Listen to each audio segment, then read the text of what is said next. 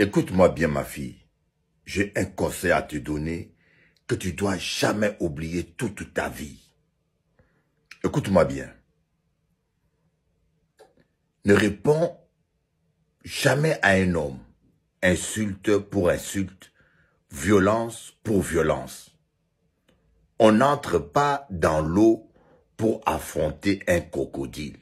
Même un éléphant, même un lion ne rentre pas dans un fleuve pour affronter un crocodile. Parce que le crocodile est dans son élément. Reste dans la terre ferme comme une lionne et tu vaincras. La force d'une femme, c'est dans sa douceur.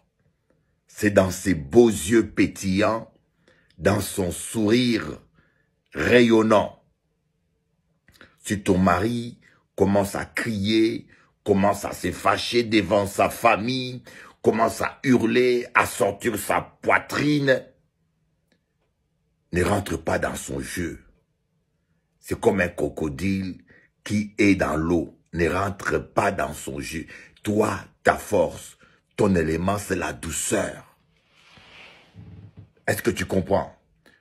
Et la plupart des femmes qui ont voulu affronter leur mari, qui ont voulu changer leur mari par la force, qui ont voulu se disputer, tenir tête à leur mari, ils ont détruit leur foyer, ils ont fini par divorcer. Un homme, on le gagne par la douceur.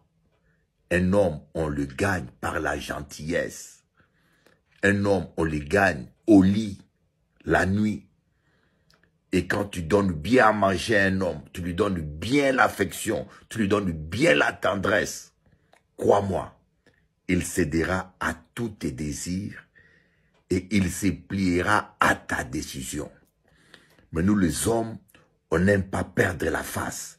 Quand une femme te dit non en face, quand une femme t'affronte en face et défie ton autorité par orgueil masculin, même quand on a tort, on ne veut pas perdre la face, on se pose.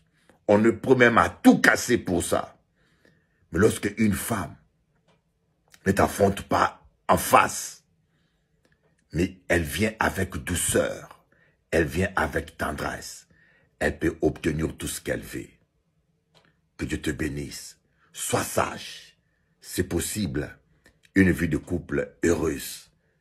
C'est question de sagesse. Sois béni.